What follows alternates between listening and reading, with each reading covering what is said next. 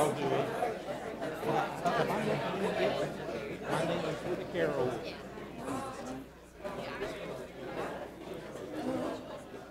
Okay.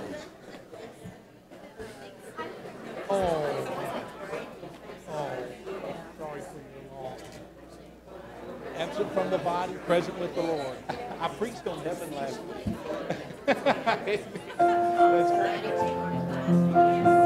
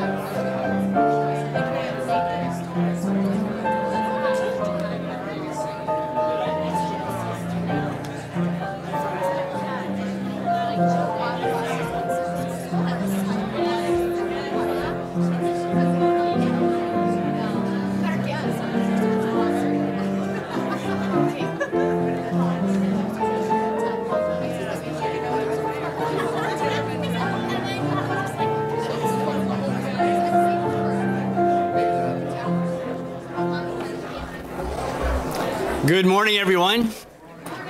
Warm welcome to each and every one of you in the name of our Lord Jesus Christ. We welcome you this morning to the morning worship service at Emmanuel Baptist Church. So glad to see a good crowd out this morning and many of you that we haven't seen for quite a while. So thankful to see you here this morning. If you're visiting, we trust that the Lord will just bless you and uh, just morning would be a, a real time of encouragement for you. And for those of you that are watching online, we, we trust that uh, uh, the, the Lord will meet your needs. Wonderful day today. I also uh, want to say uh, a hearty thank you to the church family for the work day or the, the spring clean week and day. That was a real blessing.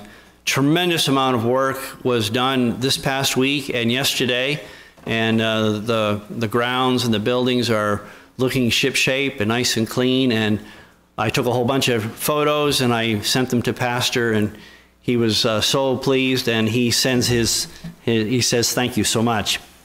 I did speak with pastor yesterday briefly yesterday afternoon. He uh, sends his greetings. He and donna send their greetings and love to the church. They uh, he pastor continues to uh, improve uh, slowly. He still he still has uh, uh, still has oxygen but he is improving and he's very much looking forward to next sunday to Easter Sunday. And um, he's going to be, I just want to set forth the expectations for folks is that uh, Pastor will probably be speaking from a chair, on a little desk up here. I just want you to know that and remind you that he's been home fewer days than he was in the hospital and rehab. So he's just want you to understand he's looking great and improving and doing really well, but um, he's not 100% yet. So, and um, speaking of that, um, he's going to have, when he's here, he will probably have, uh, he'll probably speak for a, a limited time uh, and probably have limited exposure to the folks, you know, just because uh, he's still recovering and he needs to maintain his health. And as, as much as Pastor would love to hug you, and you want to hug Pastor, probably that would not be a wise thing to do. So just want to kind of put that out there. We uh, are so thankful for our dear friend Pastor Arrowood and his wife Dolly. Uh, they've, the, we're so thankful that the Lord, in His providence and sovereign will, have made them available to be able to uh, to serve uh, uh, here at Emmanuel Baptist Church during our time of uh, testing. And so thankful for their the, the, good word that's been preached and Pastor's heart, Pastor Arrowood's heart, and and um, they have become good friends of Emmanuel Baptist Church. And I don't think this will be the last time that we're going to see them, even though this is their last Sunday for a while. So we're looking forward to the Word of God this morning. Um, God has laid something special on Pastor Arrowood's heart, and we're looking forward to that. Um, be sure, uh, if, uh, and the Arrowoods will be with us tonight also. He's not preaching tonight because Dan Hummel, uh, Pastor Hummel, oh, not Pastor, Dr. Hummel, and the, the Scripture Assembly team will be here. They'll be presenting tonight, and we'll uh, you know, the next couple of days, Monday and Tuesday, we'll be putting together, laboring for the Lord to put together some things for the Word of God. But uh, be sure to uh, greet uh, the Arrowoods and express to them uh, your thanksgiving. So let's uh, let's stand as we begin our service. We'll ask the Lord's blessings we'll, as we commit our worship time to Him. Our Father in heaven, we thank you, Lord, for this good day that you've given to us. Thank you, Lord, for it being Sunday, first day of the week. It's a reminder, Lord, of the resurrection that we celebrate the resurrection every Sunday. And thankful, Lord, that we serve a, a risen Savior. Otherwise, this would be all vanity, Lord, if it wasn't, wasn't for the fact that Christ rose again the third day. And our Father, we uh, commit the service to you today. We ask your richest blessing upon it. We ask for every heart uh, that's represented, every person that's hearing, listening, participating, Lord, that uh, uh you would uh, discern our thoughts and intents and encourage us, Lord, in the things we need encouragement and, and meet our needs. And Lord, we pray that you would be well pleased uh, with the worship this morning. We thank you for uh, Pastor Rebert and the good progress that you're making in healing his body and his recovery. And we pray, Lord, that you would continue to do that good work. And we pray, Lord, for him uh, as he prepares for next Sunday, the Sunday services, and and uh, the, the, Easter service and the morning service. We pray, Father, that uh, that that would just be a, a special, a real special uh, time. And uh, again, thank you for the Arrowoods, Pastor Arrowood and Dolly. Ask your your blessing upon the word as it goes forth this morning, and and uh, we'll thank you in Jesus' name. Amen. Thank you. You may be seated. Well, if you're glad to be in the house of the Lord this morning, say amen. amen. I'm glad to be here, and it's good to see you. And I see some new faces here in our in our service this morning. We're so glad that you're here, and uh, we hope that you make yourself at home and uh, we're so glad to have you. And uh, I want to reiterate some things that Brother Mike just mentioned. He mentioned our our spring clean yesterday, and that was a wonderful time. And uh, I was telling I was telling somebody yesterday. I said you either learn how well you work with your church or how well you don't work with your church. And uh, and the group that I was with yesterday, we just had a ball. We we laughed and we had a great time. And as I floated around and, and other folks were working, and I, I noticed the same thing. And and uh, it's it's just, and I, and I, told this individual, I said, it's great to have a church that enjoys being around each other and is able to work together and get something accomplished for the Lord. And that was encouraging yesterday. But uh, we just don't want to thank those who came out yesterday, but we had people come out all week. And, um, and they, they used their time and uh, their effort and really did a great job around this church. And we want to, we want to express our gratitude uh, for you. And uh, just the the church looks wonderful as you came in this morning, didn't it? And uh, it's just wonderful. So thank you guys so much. And, and we're on to our next project, and that starts uh, officially tonight, but really kicks off tomorrow. And that is our scripture assembly. And I want to encourage you to be here tonight and uh, be here for whenever Brother Dan Hummel kind of uh, talks about what this ministry is about. And it's a wonderful ministry, being able to put scripture together that's going to be sent around the world for the for the cause of the gospel. Isn't that awesome? And our church has a part of that. And so uh, I'm so excited about that. That will begin um, with Brother Dan Hummel tonight, and we will uh, start working on those uh, Scripture Assembly projects uh, tomorrow uh, afternoon. Now, be aware, all right? We don't provide lunch. We have provided lunch in the past, but we're not providing lunch this year. But if you would like to join the church and, and have the church go out and get you something and, and help you in that way, we would be glad to do that. But um, if you would like to just bring your own um, packed lunch, that's that's okay too.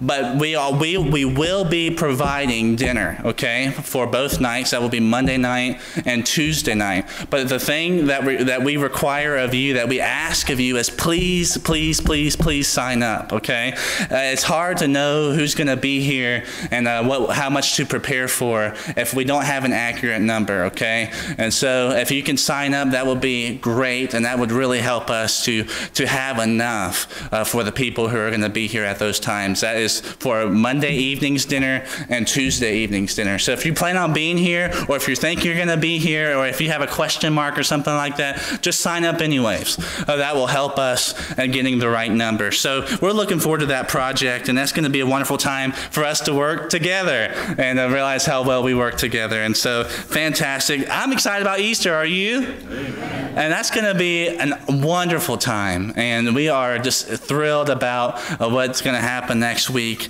and uh, with our pastor being able to be back. You won't want to miss the service at 9 a.m. That's going to be a wonderful service, and then we're going to be able to have a time of fellowship here in the back, and then we're going to come back in. Now, please be aware, we've had uh, services on Easter at 11. We have changed it this year. Okay, it's going to be at 10:45. You see the information there in your bulletin, so please uh, note that and be aware of that. And then, of course, we have our revival coming up both Tom Farrell. That's going to be a wonderful time too. I hope you came with a heart of worship this morning, and uh, I, I am so excited to see what God is going to do in our lives this morning. Brother Earl, if you would please come up and lead us in some songs. Stand with me. Where could I go?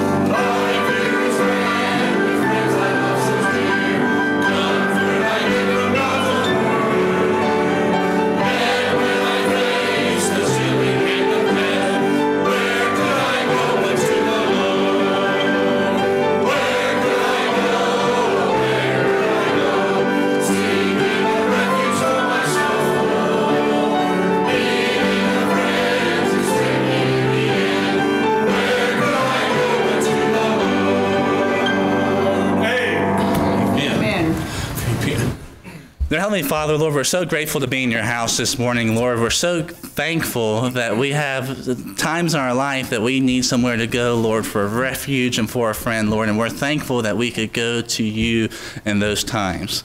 Lord, we're thankful to be in your house this morning. We're thankful to be here. And we ask you, Lord, to meet with us, Lord. I, I know there are many things going on in our minds and in our hearts, things that we want to get accomplished this week. Lord, I pray that we would set those things aside.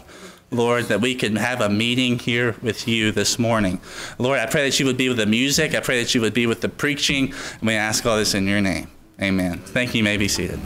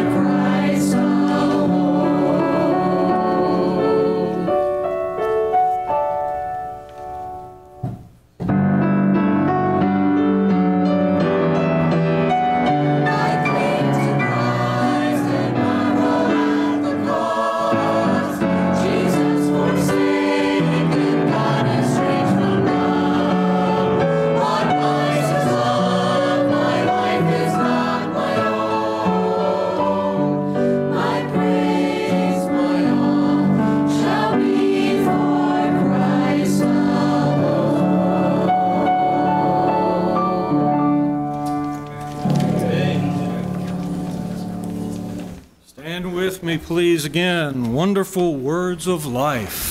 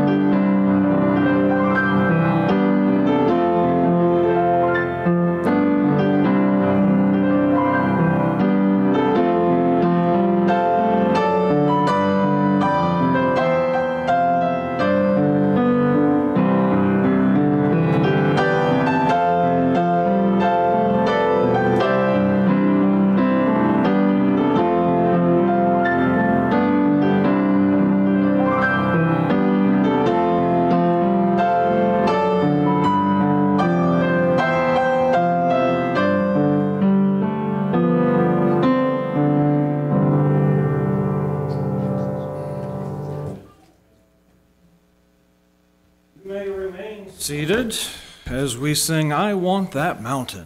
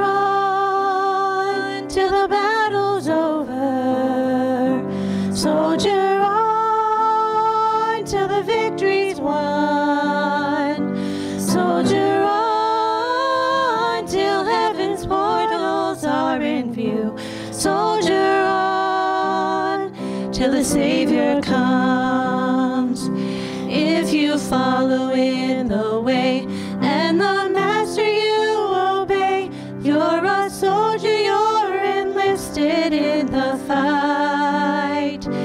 In the hardness of this life,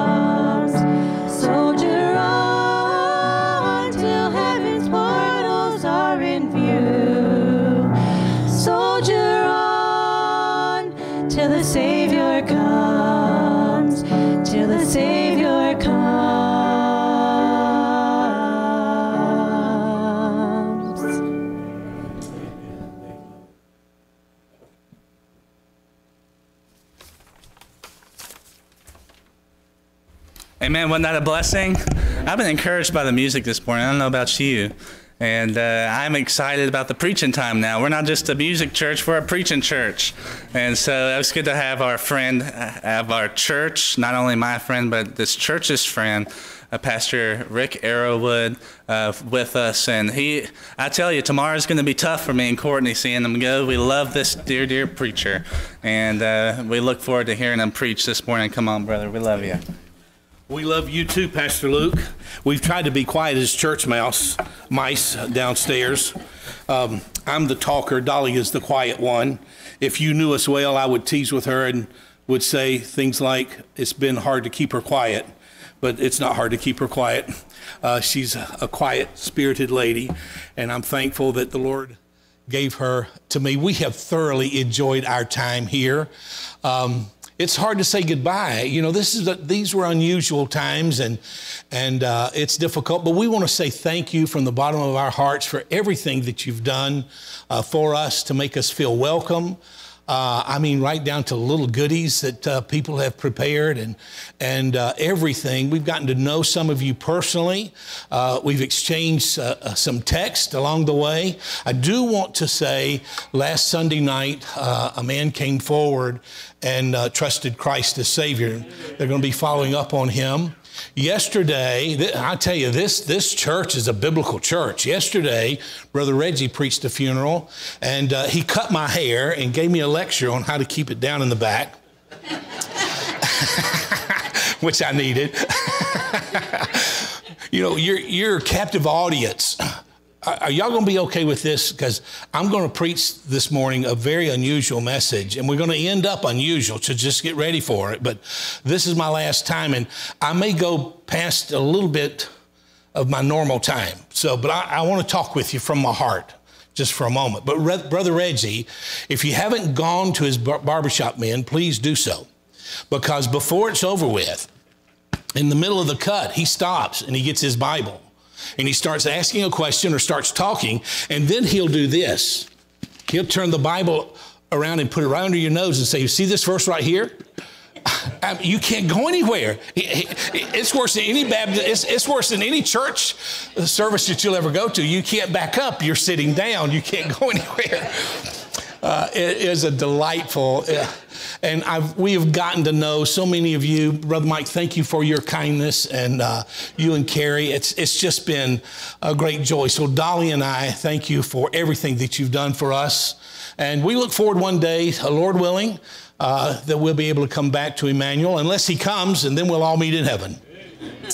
And uh, then I want to begin the slideshow by showing you a wonderful picture.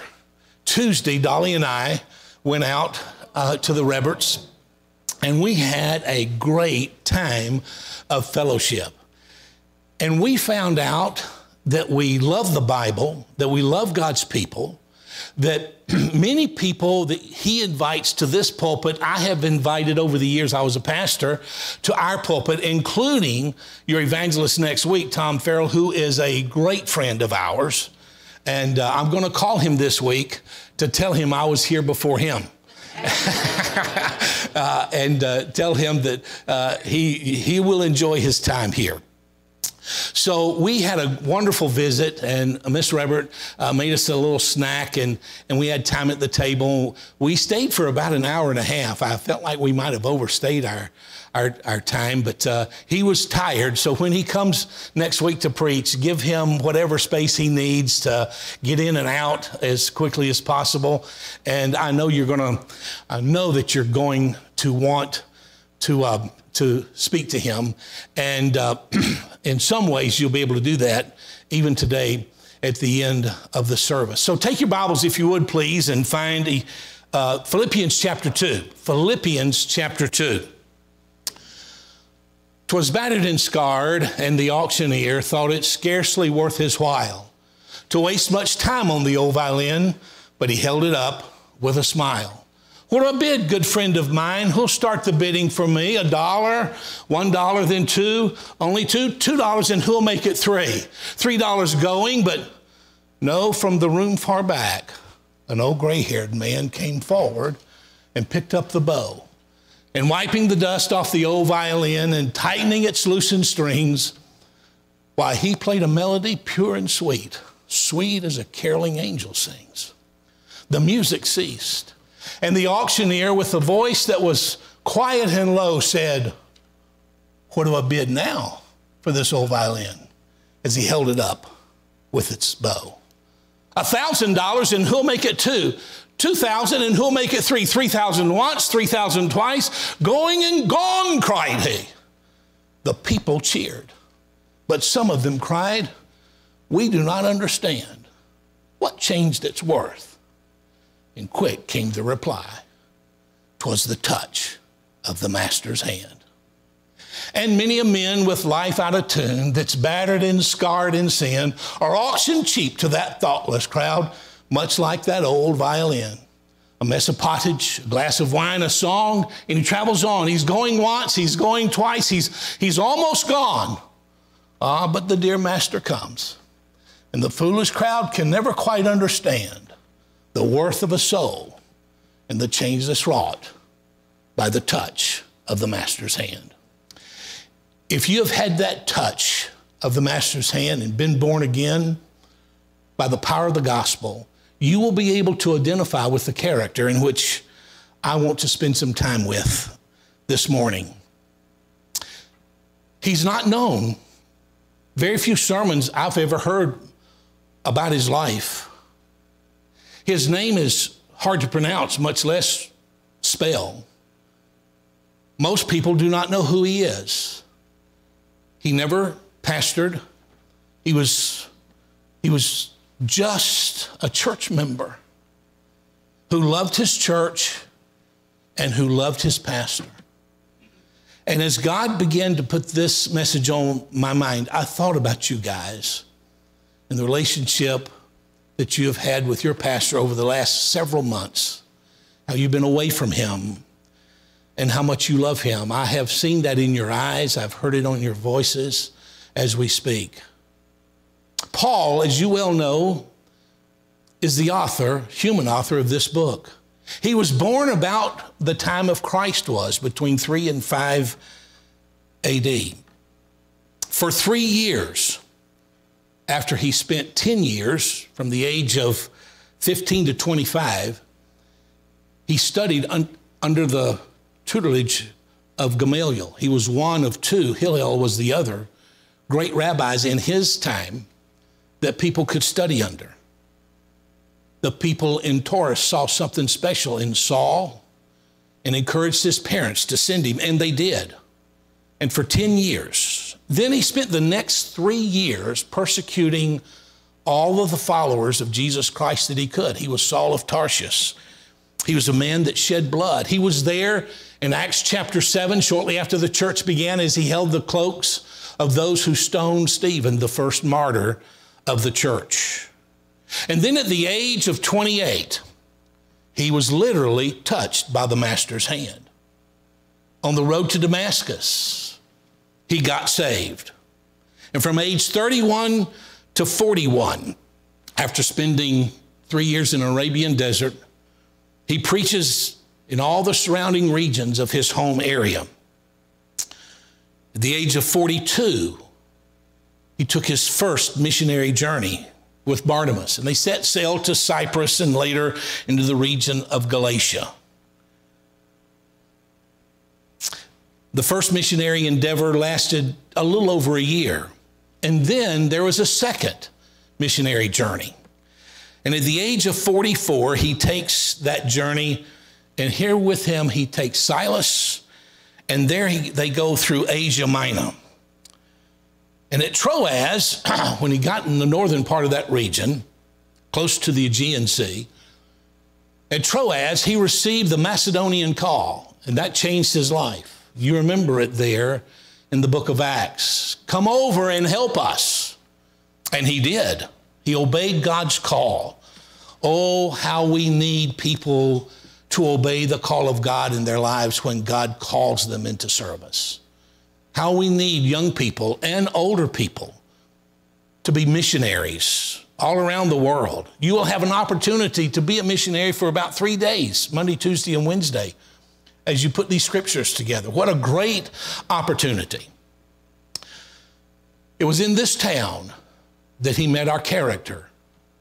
He met a man that came to hear him preach. His name was Epaphroditus. And he got saved.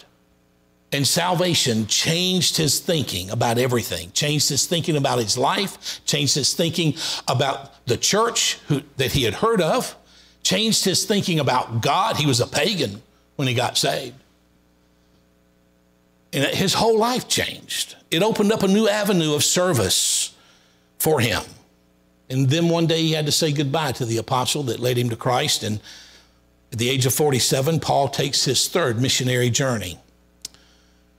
At age 53, he returns to Jerusalem for a couple of years, and then he is arrested and put in prison in Caesarea by the sea. If you've ever been to the Bible lands, you've probably stood in that great theater that overlooks the Mediterranean Sea where Herod was eaten with worms. It was there Paul was imprisoned.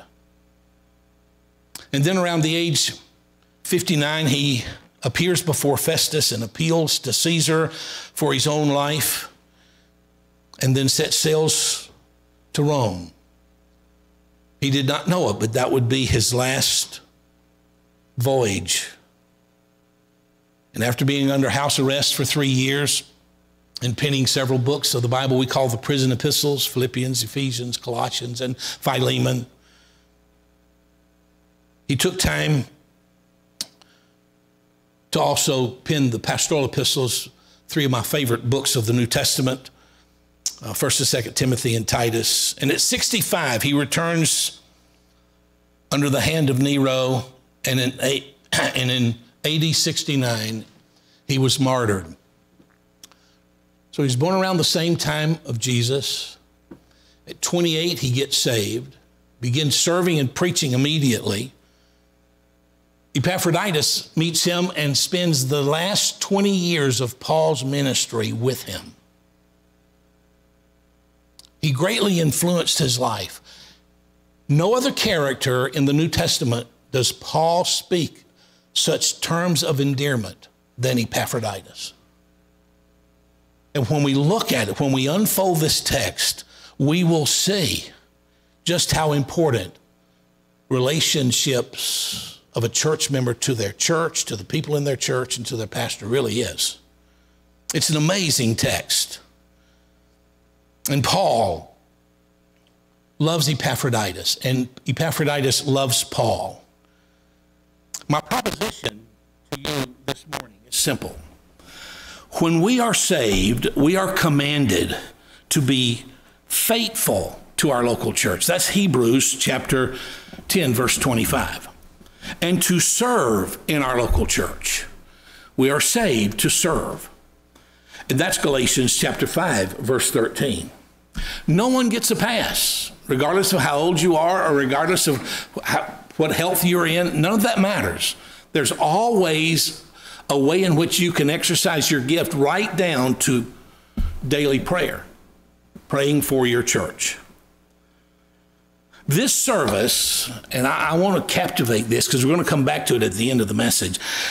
This service, this kind of service to your local church can become so personal that some measure of sacrifice will become evident in your relationship with your pastor.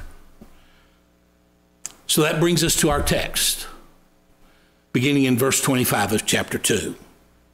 Yet I suppose it necessary to send to you Epaphroditus, my brother and companion in labor and fellow soldier, but your messenger and he that ministered to my wants. For he longed after you all and was full of heaviness, because that ye had heard that he had been sick. For indeed he was sick, nigh unto death, but God had mercy on him, and not on him only, but on me also, lest I should have sorrow upon sorrow. Do you see how close these two men were? Paul is writing from a Roman prison. And he is not saying, I'm sorrowful because I'm in prison. He's sorrowful because he couldn't be with people. And he says, It would have been sorrow upon sorrow if one of my most precious friends in the ministry, who stuck with me for 20 years nearly, if he would have died of that sickness, it would have added great sorrow to my sorrow. When Epaphroditus did visit him in prison, notice verse 28. I sent him therefore the more carefully, that when ye see him again, now, watch it carefully. Ye may rejoice, and that I may be the less sorrowful. Receive him therefore in the Lord with all gladness, and hold such in reputation. Honor the unsung hero. That's what Paul was commanding this church to do. Because of his love for the work of Christ, because of his love for the church, and because of his love for his pastor. Look at verse 30. Because for the work of Christ he was nigh unto death, not regarding his life, to supply your lack of service toward me. Father, help us in the message this morning, simple as it is, and yet, Lord, your word is so powerful. It will remind us of just what kind of church member we need to be as we are in the work of Christ here at Emmanuel. Lord, if there's someone here that does not know Christ as Savior, may this be the last time they will ever hear a gospel message and stay in their seat, but they would be willing to come forward in the invitation and surrender and give their lives to you. Work in hearts. Every saved church member in this room and watching by YouTube, I ask, Lord, that you would work in all of our hearts. And we'll thank you for it. In Christ's name, amen. Let me tell you a few things about Epaphroditus. He was a unique man. His name was not uncommon, by the way, in the first century, especially among Romans. His name, given to him by his pagan parents, he was named after a sensual temple deity a pagan. His name means lovely or handsome. Obviously, his parents were thinking about him being like a god that they were worshiping when they named him. Epaphroditus is only mentioned twice in the New Testament, and that's in this book, in chapter 2 and in chapter 4. The only one at Philippi who became a beloved friend to the Apostle Paul that we know of in Scripture. I believe there are a lot of people like him in the New Testament. Now, the fact of the matter is, he devoted himself to the work of Christ. And he, he was sick unto death. He, he was indefatigable. You, you couldn't wear him out. He just kept going and going and going.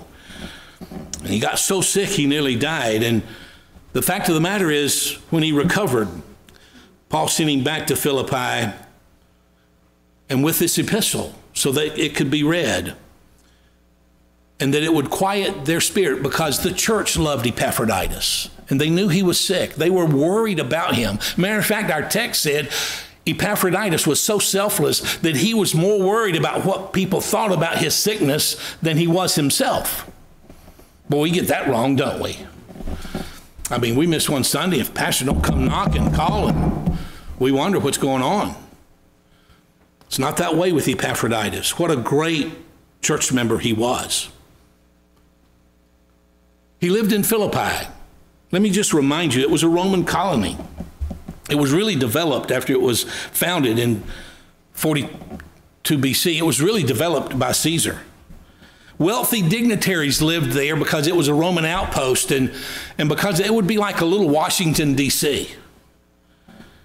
And the church became known for its outstanding character. These dignitaries, as well as servants and slaves, began to get saved, and all of them came to the same church. That, that's why the church is wonderful. All out of all walks of life, God gives us an ecclesia, an assembly. So this church, much like this church and all local churches, they become known for certain things. This church became known for their joy. That was the theme of the book.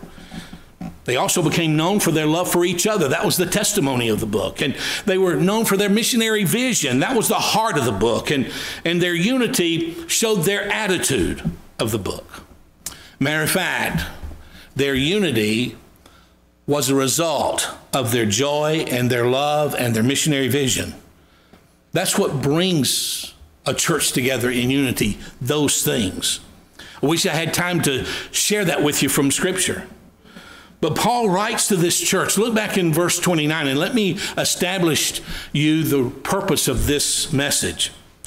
The Bible says, uh, Paul writing under the inspiration of the Holy Spirit, receive him, giving this church instructions, That means to accept by giving access. Matter of fact, this word receive is an intimate term.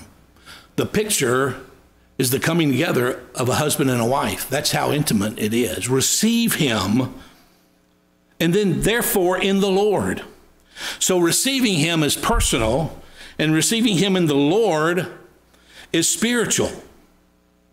With all gladness, cheerfulness, and great delight, that's with emotion and hold such or adhere to or cling to, there's a physical aspect of their relationship. In reputation, honor the hero, there's an honorable relationship. And so the title of this message, Epaphroditus, the unsung hero, Paul is using an example in Holy Writ to give us this precious narrative that helps us get our minds around what church should look like and how I fit in.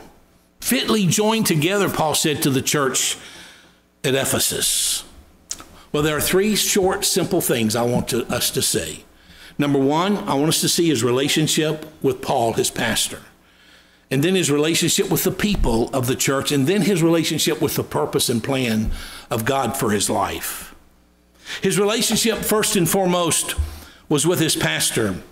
And Paul uses four precious terms that he talks about this man. Nowhere else in the New Testament, including Timothy, does he speak in such terms. The first one is in relationship to their salvation. And that's important for us to know. Notice he calls him my brother. That's the first one. Look there in verse A, or uh, verse uh, 25a. Delphus is the Greek word. We get our word Philadelphia. Uh, actually, Delphus is the Greek word that refers to a mother's womb. Paul was saying, This man Epaphroditus is my brother. Now, they were not blood brothers. Paul was a Jew, Epaphroditus was a Gentile. But he used such terms that when those people in that first century church heard him use the term Delphus, they knew that these two men were extremely close.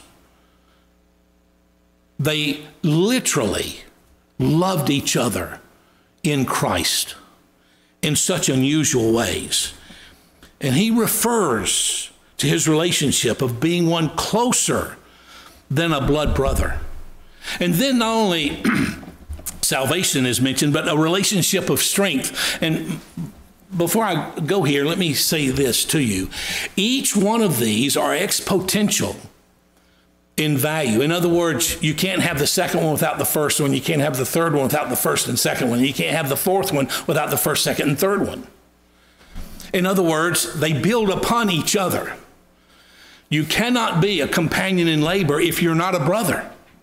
You got to be a brother. You got to be saved. And if you heard the lesson, and if you've been hearing Brother Mike's lessons, and I, I, I recommend that after you hear this book of Hebrews taught by him, you ought to get three hours worth of seminary credit for it because he's teaching you the Word of God.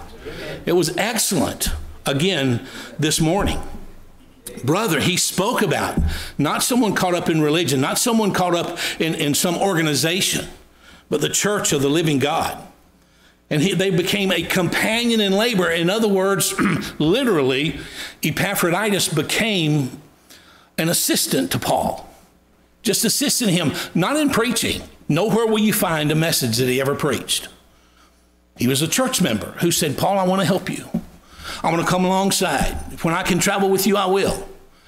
When Paul was in prison, he not only was his assistant, he was his attendant.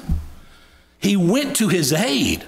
We'll find him in this text taking an offering and his, his personal goods to him. Epaphroditus is an amazing man who had a good relationship with his pastor, and Paul speaks of it. And then there's the relationship of suffering. It's one thing to be a brother, it's another thing to be a companion in labor. But what if hard times comes? When the battles come? And we are in a battle, are we not? Battles do come. And now there's suffering. He's my fellow soldier. This denotes that there were battles that they were fighting. Now we know there were persecution, there were plagues, pestilences.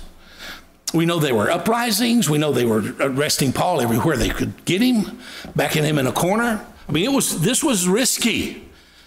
But he didn't look at the risk, even to his own health. Not that I'm preaching that you ought to break your health for the church. That's not what the text is teaching, and that's certainly not what I'm teaching. But we have an example, even of his of, of how he may not should have worked so assiduously in his life Maybe he should have taken more breaks. Maybe he should have said no more often. But there were spiritual battles, and there were, we know there were moral battles in that day, and personal battles, and leadership battles. And, and being in the battle for the Lord, you, you have to be loyal first and foremost, not to a man, but to the Word of God.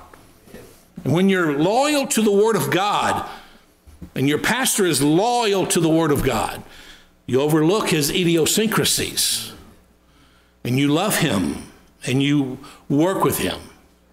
Uncle Bud Robinson, that famous Nazarene evangelist, tells the story of when he's a kid, they pushed a hay wagon over the brink of the hill. Uh, and they, his friends got on it, and they just kids, and said, "Hang on, don't anyone jump off." And they got going down the hill and it started floating toward the briar patch. And all of a sudden they realized they were going to go through the briar patch and some of them were jumping off. And, and, and Uncle Bud Robinson dug his fingernails in and uh, stayed on. And a few others did. When they got through the briar patch, Uncle Bud Robinson told the story and he says, What we need today is church members with some buckboard underneath their fingernails that don't run when the first problem comes, but yet stays. There's battles. He is my brother. He is my companion in labor. He is my fellow soldier. But notice one more thing quickly a relationship of serving. He that ministered to my wants. The word minister here describes someone who would work in the temple. And wants does not mean the lavish desires of Paul, but rather the daily necessities to allow life to exist.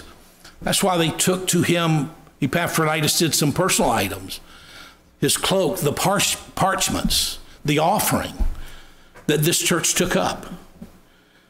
And so, like a good Samaritan, sometimes laboring with each other, I know we're in a pandemic, but sometimes it does involve literally touching. The, the, the greatest example of this in the New Testament would be in Luke chapter 10 when the Good Samaritan took into his hands the man in the ditch and bound up his wounds and poured in oil and took care of him. It, it took some tender touching physically. So their relationship had to do with their conversion and their closeness and their contending for the faith when it came time to, and compassion one toward another. But see with me, secondly and quickly, his relationship with the people of the church. He was their sent one. Look at verse 25, the D part of that verse, your messenger. The word messenger is our word in the New Testament for apostle. He wasn't an apostle as Paul was, but he was an ambassador. That's the idea. He was their sent one. And he was selfless. Look at verse 26. For he longed after you all and was full of heaviness because that ye had heard that he had been sick. Epaphroditus was more concerned that others knew of his sickness than he was his own sickness. And then he was willing to sacrifice. And I want you to see this. Keep your finger here and just flip over to the fourth chapter. He was willing to sacrifice. And he was the one that one day stood in the church and volunteered. Now, here's what happened in the church of Philippi an offering was taken and the pastor got up and said, Our dear brother Paul is in prison in Rome, and he needs this offering. He needs some personal uh, items. Uh, and we need someone that will take this offering to him. And sick in body, immediately Epaphroditus stands to his feet and he says, Pastor, I'll be happy to do that. And so he does. And Epaphroditus travels probably on foot some 1,300 miles to take that offering as he traveled up through southern Europe and then turned and came back down into the boot of Italy to the western shore to the Roman prison Look at verse 15. But I have received all and abound.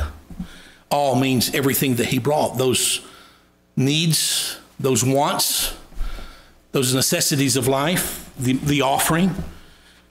I have received all and abound. I am full, having received of Epaphroditus the things which were sent from you. Now, watch what he called them an odor of a sweet smell, a sacrifice acceptable, well pleasing. These were sacrificial gifts, obviously.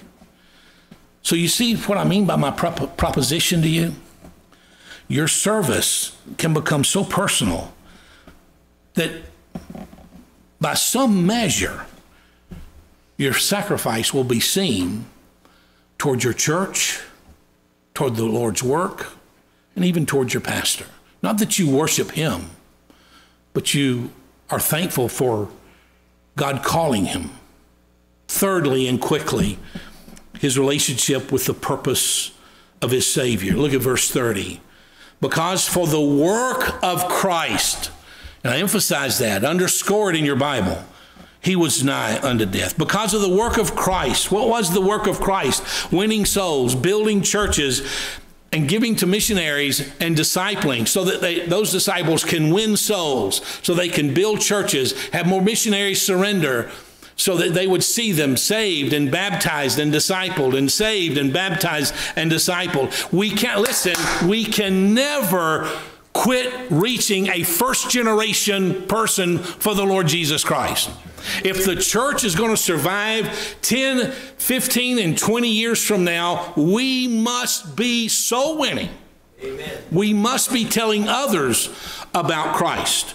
Churches, in my 42, 43 years of ministry, I have seen them start and they're no longer.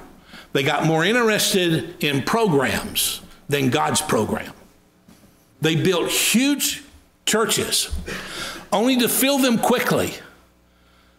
And then all of a sudden, only a handful of people. Mushroom growth is never good because when all the mush leaves, all you have left is room. Can't grow a church that way. You grow a church by soul winning and and teaching them the importance of obeying the Lord in baptism and discipling them so that they can go out and win souls. And somewhere along the line, guess what's going to happen? Someone's going to say, God's called me to the mission field. And we get all happy about that, do we not? We send them off to Christian college and we get them to the mission field, and that's the way it should be. And I have a tremendous burden that this is not the way the church is going today. And it's hurting us overall. We have just read Epaphroditus' epitaph, Zoni's gravestone in our minds and hearts. He was my brother. He was my companion in labor. He was my fellow soldier. He was my minister. Paul was his pastor, but he ministered to Paul. What epitaph? Would Pastor Rebert write of you? One day, if the Lord doesn't come, you're going to die, and he most likely will stand over and, and say something about you. What will he say? What kind of testimony will you have lived? Sobering, isn't it? We want to be like the two ladies in chapter 4 who couldn't agree on the same thing. Unity was so important. How do others see you in the church? Are you selfish or selfless? Is it all about you or is it about others? Are you a servant leader? Some people say we shouldn't we shouldn't put those two terms together. We'll have some wimpy leaders. Oh no. No, no, no. Servant leadership is needed today. And so, my proposition to you, if I can get personal, will you allow me to do that this morning? I feel like I know you well enough, I can get a little personal. So, I call this the Emmanuel Baptist Church proposition. And I want to encourage you about something. Your service at Emmanuel can become so personal that some measure of sacrifice will become evident in your relationship with Pastor Mrs. Rebert because they love you. I saw that in their home when we visited. You have a wonderful church here. And I know you know that. And you've got wonderful people in this church. And I know you love each other. I've watched you do it. And I, I watched people come yesterday and work. I, I got under conviction. I felt like I should have been out there with them. And I know you know these things. I know you're well taught. But I thought about how we could express our love to Pastor Rebert. He'll be coming back, Lord willing, next week to preach for the first time in months since December. So the invitation is going to be in two parts. Number one, I'm going to give every unsaved person here an opportunity who heard the gospel to come forward and let us take a Bible and show you how you can be saved. That's going to be the first part of the invitation. The second part of the invitation, for those of you who would like to, to line up down this aisle here and come to this microphone. And the camera will be on you, and you will be able to speak to Pastor Mrs. Rebert personally. It can just be a statement or two. We love you. Thank you for obeying the call. We miss you. Whatever you want to say, thank you for leading me to Christ. Thank you for baptizing me. Thank you, Miss Rebert, for teaching the ladies, working on the bus routes, being a, a, godly example of a godly pastor's wife. This is this will be your opportunity in just a moment. So would you stand with me, please, with heads bowed and eyes closed? The pianist is going to come and begin the invitation hymn.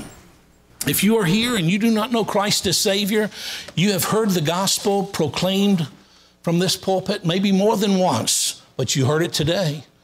Christ died for sinners. Paul preached the gospel, and Epaphroditus and scores and hundreds and thousands of others got saved. Wouldn't it be your time to be saved today? Oh, I beg you, please come. Let us take the Bible and show you how you can be saved. This stanza, this first stanza is for you, dear lost friends. Please come. Step from your place and come. We're here to help you.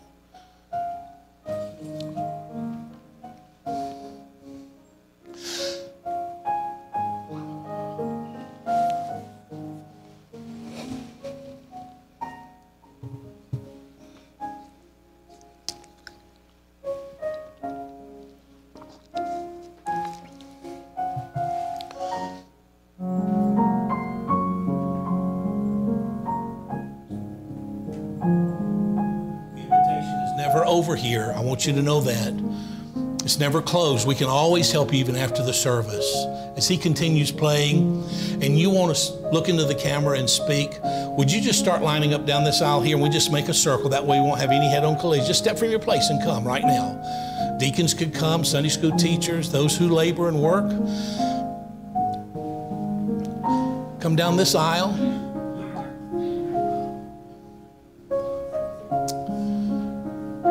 Be shy. This is your time to say something personal to Pastor Ms. Rebert. That's right. Step from your place. Plenty of plenty of opportunity here. He'll continue playing softly in the background, and Brother Mike will be the first one. And just step, get get right in front of the mic, if you would, so you could be heard. Turn it, turn that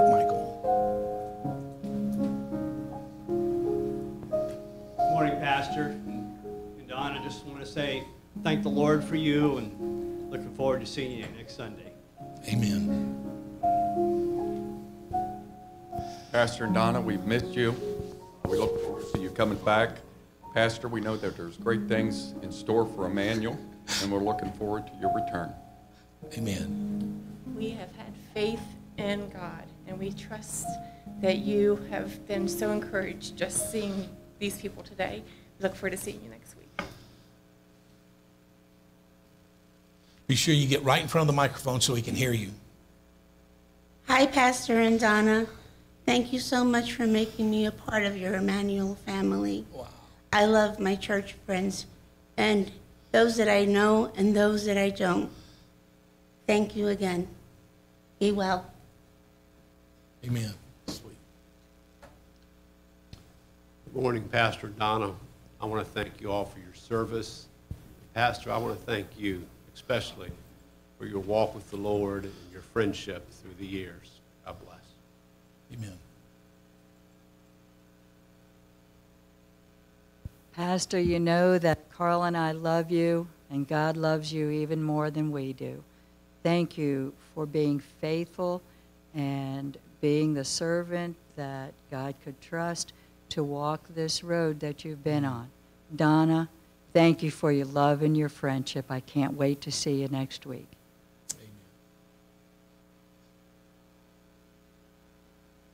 Pastor and Mrs. Rebert, we want to thank you for uh, your many years of service here. Thank you for all the times that you've prayed for us as a family. Lord, uh, we're, we're grateful for that. Uh, we look forward to seeing you guys next week. Very excited about that. Amen. Pastor and Donna, we, uh, we just want to say we love you, and I thank you for uh, your leading in my life. I thank you for teaching me the importance of prayer, and I thank you for helping me grow in Christ. We love you. Hi, Pastor and Donna. Um, I'm just really looking forward to seeing you next week. It's been a long journey for you, and um, we just love you and support you. And I just thank you for all the help that uh, being my, the shepherd in my life. And uh, we see you next week. Uh, Pastor and Miss Donna, thank you uh, for the labor that you put into me and to my wife. I thank you for your testimony and your faithfulness, and uh, we look forward to having you back. Morning, Pastor. Pastor, first of all, I want to thank you for being a friend to me and our family. Just the example that you are here at the church, Lord. It's obvious the, the Lord is working in your life and has been. And we just thank you and love you. Looking forward to seeing you next week.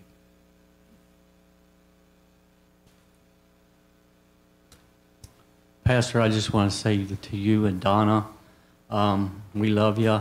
Uh, thank you from our family to you. The, the, the many helps that you give us in junior church, uh, and we just, we love you so much. We want to see you next Sunday. Thank you. Morning, Pastor and Donna. Pastor, I just want to say thank you for the Wild Game Dinner outreach that brought me here in 2000 and uh, January 19th of 2000, uh, leading me to the Lord in a little room back here behind the pulpit. And uh, Lord's changed my life, and you have uh, certainly played a big part in that. We love you. Well, Pastor and Mrs. Rebert, I just wanted to say, I got my whole family, you know, really, really missed you guys. You know, we love coming to this church. We really missed you guys, and you know, we're looking, really looking forward to seeing you guys next week for Easter, Lord willing. And God bless. Anyone else want to get in line, you can. Hey, preacher. Um, I think we're all excited to, to get our pastor back next week. Um, I'm particularly excited uh, that my friend's coming back next week as well. So we look forward to having you back. We are super excited to see you next week, and we are looking forward to it. Thank you for the friendship that you've given my family and for leading us. And even though we joined uh, just about four years ago, you were going through cancer, and just watching you praise God and live for Him, and you're doing the same thing, and we appreciate it. We love you guys. Hi, Pastor and Donna. Um, we'd like to thank you for all you've done, and we, we, all our prayers have been answered that you're still here. We need you here, and you're doing a great job. Keep it up.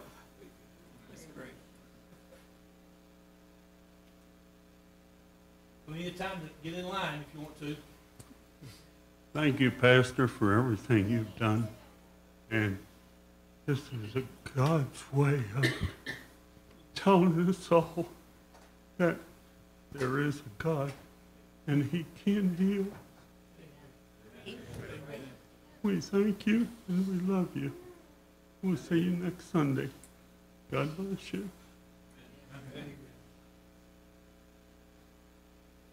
Hi, Pastor and Miss Donna. Daniel and I love you. The girls and I love you. and we just wanted to give our well wishes to you. We're so thankful for God to answer prayer, and our hearts have been with you the entire time.